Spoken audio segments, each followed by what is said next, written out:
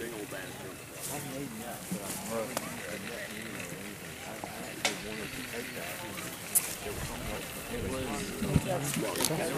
little wind is just blowing the smoke around, but you can see how smoky it is. Uh. I I.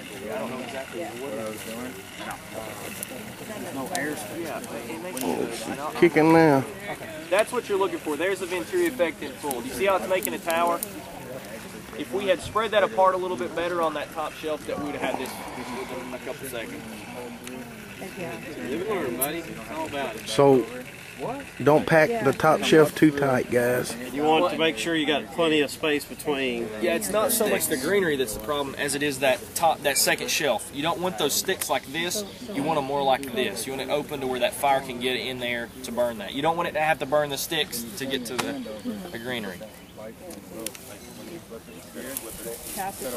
On the bottom shelf. The bottom shelf you want as tight as possible because that fire is going to burn some of that stuff. So Top. When you, when you top is open. Heck, I've done. I've thrown two X's in there before. I'll show you one last look there. She's still going strong. we're after right there. I really use it.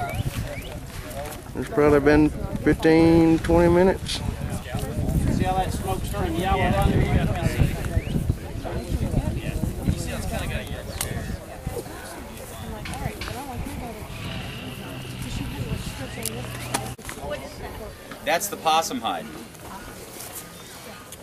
It's taint too, yeah, boys. what we're going to talk about is the steps in doing this. Let's say that we just took that possum hide off the critter. Uh, we have a fleshing beam, and this fleshing beam was just one main beam that we brought up.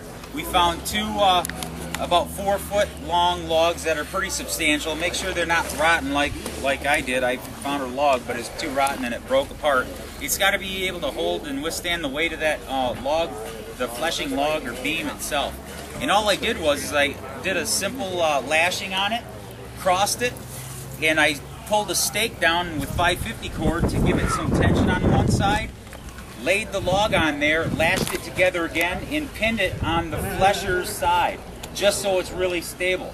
Um, this way, if you had a tripod holding this that we've done in the past, we don't have that extra leg that's flopping around, could be in your way, you're stepping over. This way you just have two logs that are out of your way and just one line uh, directly in between your feet that you're not really going to hit anyway because the beam is out past it. That's the thinking or the engineering behind this, this, this setup. What he's going to do right now is he's pulling the flesh or the hide, hair side down, flesh side, uh, the uh, I guess it's the internal side of the skin or the flesh side up, and he's going to proceed to scrape this hide down. Um, the fat on a raccoon is pretty greasy, pretty loose. Possum. Sorry, I may still keep saying raccoon. I, I don't know why that coon is on the brain. Also talk about how thin the hides are because it's touched us and tore. Yeah, what also could be a knife too. Yeah. Possum's hides are very, very thin. Okay, and the more you keep them submerged in water, like it was in my cooler, the more apt it may it, it may rip on you or pull apart. Um, it deteriorates very, very quickly. So you want to get on this very soon. Um, ideally, you probably should. I probably should have wrapped that up, hair side out, rolled it up, and just left it outside to dry in the elements. But the critters probably would have took it unless I secured it to a tree, up in a tree, or whatever. Something could have carried this off. So what I did is I just throwed it in a bag in my cooler. What we're going to do is um, the idea is to scrape off all the fat, flesh, and uh, membrane down to one layer of hide. Yeah, I'm trying to be delicate. Yeah. Just uh. Yeah, you can get that down. I got another fleshing knife. Can you want to try? Let me Yeah, see. go ahead. Think that was too much? Yeah, Okay, yeah. go Let me give go me get me another another. Go ahead and talk if you want. I'll go get All it. He's going to get, get another knife, guys, and this and you have to do this gauge this kind of with hides. Yeah, and you felt that a minute ago, and that's that's pretty well dull, but because it's just made for it's I, I skin coons with that, or uh, flesh coons with that rather. And well, if you if you notice, I'm just barely scraping it, and it did that. So, and that's what I said. You got to be very careful. If you're So a- when I get into that gristle and more of that fat, then this will work real well. But yeah, we're gonna. He's gonna. Here, he's got another one. Basically just a draw knife for you. A dull draw knife. Um, you usually scraping blades, commercial scraping blades and draw knives that are used for uh, woodworking and um, fleshing are sharpened on one side. So you have two options, pull, push, and it's pretty dull. But we don't want them too sharp. Some instances you need them sharp so you can actually do a slicing type motion to cut into some stuff that's really attached to that hide. Give it a quick slice, peel it up a little bit. When you get that little bit of meat or flesh or membrane peeled up, then do a push type motion cut.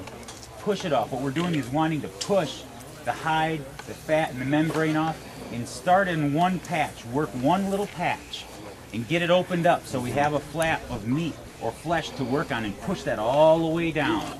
Move to a little bit to the one side or another. Start some flesh, push that all the way down. And we want to continue that uh, process all the way around it, pushing past the edge of the fur onto the board.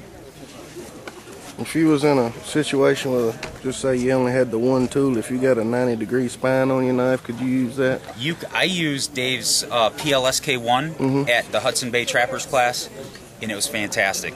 The length, it's a little bit longer than I usually like, but I tell you what, the length of the blade, I was able to hang on to it. It was a deep enough blade to actually get down and control it with my thumbs and handle, and it did it did a beaver, it did a possum, a coon, and something else. It was great. There you go. We're See, he's got this motion down. It took him a while to peel up uh, part of the hide, but it's it's kind of coming apart on us in some areas where I might have slipped with the knife, Yeah, or we're pushing down too much. That's where you had to cut Um, around the parts. We're not taking this to uh, a fur seller or fur buyer. Um, what we're doing is actually tanning it ourselves. We're actually doing the process of brain tanning and preserving. Um, since I didn't want to open up that um, possum because it was smelling worse on the outside than it was possibly on the inside, I didn't want to even deal with it because I didn't think we needed to deal with it. Because what we're going to do is we're going to show you. How he's working it through it so thin that you're actually going to see the bottom of the hair follicles coming up through. And possum are notorious for that because the hides are extremely thin. They're actually kind of hard to, with the brain tan because the hair slips. Yes, it's it's it, they're actually a quicker animal to tan because it's so thin. It doesn't take long for the the tanning liquor that we're going to make to absorb into it. But on the other hand, it's really really hard to process without making a rip. This is a low dollar animal, people. There's possums everywhere. It's only like a buck and a quarter in the round. if, if- if you actually uh, sell it in the green and make no cuts in it, you can maybe make a quarter or 50 cents more. If you want to take the hide off it, flesh it, scrape it, and dry it hard like this with no type of preservatives on it, this is just raw hide, just dried hide with all the membrane, meat, and fat scraped off of it. It, you know, you may get a dollar more for it. Is your time going to be a lot of worth that extra dollar to make sure all this is perfect? Could be if you have a whole bunch of possums. It's up to you. But for this instance, we're actually going to try and scrape this clean and go through the uh, brain tanning process to make a pouch, a piece of leather, a flap, whatever. You know what I mean? This will be for practice. If you can start skinning out possum hides without ripping and tearing and pulling through hair, you're doing really good. Yeah, you've You're got a lot of doing really good. He's he's been working at this for about 10, 12 minutes. And he's got almost half of it done. And this is it's got a couple things going on wrong for him right now that's working against him. One, it's small, it's young, the hide is really thin. Two, it's a female. It has multiple layers of skin that's really uh, small and thin membrane like right for its pouch. The marsupial pouch and uh, it has a thing. You know, it has it's a female, so it actually has exposed exposed nipples or the inside part of the nipple flaps, and those are candidates. After it's off the body, it gets hard, and those hard spots of skin that's on the nipples on the inside are points where that blade will catch, and it's a thing called nipple rip on the hide. That blade, when you're pushing that flesh off, you can come across a hard piece of hide, hard piece of membrane, something that clogged up, whatever, that hard inside nipple membrane. You catch that dollar store hand soap, degreaser, Dawn dish soap, Degreasing the hide. whatever you have at the time.